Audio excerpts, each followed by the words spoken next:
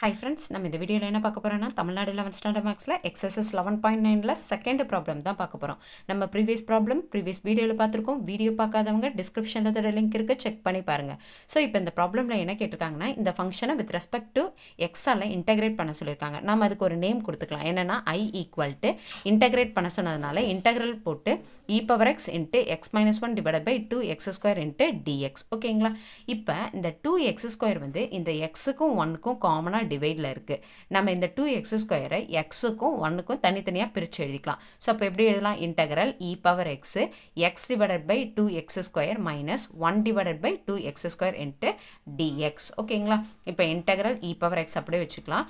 எக்ஸும் ஒரு எக்ஸும் கேன்சல் ஆகிடுச்சு அப்போ ரிமைனிங் என்னது? ஒன் டிவைடட் பை டூ ஒரு எக்ஸ் கேன்சல் ஆகிடுச்சுன்னா ரிமைனிங் ஒரே ஒரு எக்ஸ் தான். Minus one divide by two x square into d x ஓகேங்களா இப்போ இ பவர் எக்ஸ்க்கு மல்டிப்பிள் ப்ராக்கெட்டில் டூ டேர்ம்ஸ் வந்ததுன்னா அதை இன்டகிரேட் பண்ணால் எப்படின்னா ஒரு ஃபார்முலா யூஸ் பண்ணலாம். ஓகேங்களா அது என்ன ஃபார்முலானா e power x into f of x plus f dash of எக்ஸை இன்டகிரேட் பண்ணால் என்ன கிடைக்குன்னா e e power x into f of x கிடைக்கும். ஓகேங்களா இன்டகிரேஷன் கேன்சல் ஆச்சுன்னா ஒரு கான்ஸ்டன்ட் ஆட் ஆகும். ஓகேவா இப்போ நம்ம இந்த இந்த கிவன் கிவன் கொஷினை நம்ம இப்படி ஷார்ட் பண்ணியாச்சு. ஓகேங்களா இப்போ இதையும் இதையும் கம்பேர் பண்ணி பாருங்கள் ஓகேவா ரெண்டையும் கம்பேர் பண்ணி ஒரு டேர்மை நீங்கள் இதில் எஃப் ஆஃப் எக்ஸை எடுத்துக்கோங்க. அந்த எஃப் ஆஃப் எக்ஸை டிஃப்ரென்ஷியேட் பண்ணி வர வேல்யூ வந்து அனதர் டேர்மாக இருக்கணும். அந்த மாதிரி சேஞ்ச் பண்ணிட்டா இந்த ஃபார்முலாவை யூஸ் பண்ணிக்கலாம். ஓகேங்களா இப்போ இதை ரெண்டையும் கம்பேர் பண்ணிவிட்டு இதில் ஏதாவது ஒரு டேர்ம் நீங்கள் எஃப் ஆஃப் எக்ஸ்னு எடுத்துக்கணும். எந்த டேர்மை வேணால் எடுத்துக்கலாம். ஆனால் அதை டிஃப்ரென்ஷியேட் பண்ணி வர வேல்யூ வந்து இன்னொரு டேர்மாக இருக்கணும்.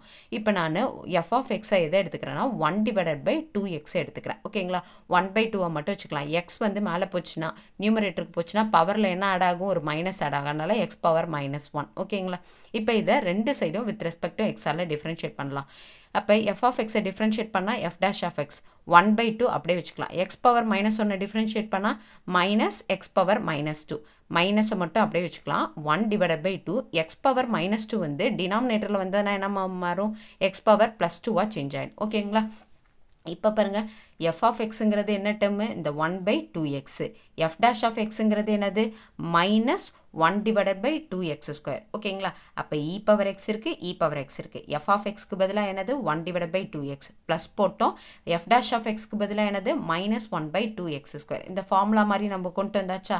ஸோ இப்போ இன்டகரல் நீங்கள் இதை இதுக்கு பதிலாக e power x into f of எக்ஸ்க்கு பதிலாக one by two x minus one by two x square அப்படின்னு போடலாம். அப்படி இல்லைனா கிவன் கொஷினையே கூட எழுதிக்கலாம். ஓகேங்களா equal to e power x இந்த ஃபார்முலா ஏற்ற மாதிரியே நம்ம இதை கொண்டு வந்துட்டோம்.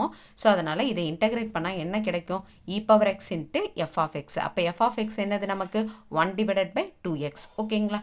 ஸோ இப்போ இந்த டேர்மை இன்டகிரேட் பண்ணால் என்ன கிடைக்கும்னா e power x into one divided by two x plus c ஓகேவா ஸோ அப்போ கிவன் கொஷினை நீங்கள் இந்த ஃபார்முலாவோட கம்பேர் பண்ணணும். இந்த ஃபார்முலா மெமரி பண்ணி தான் ஆகணும்.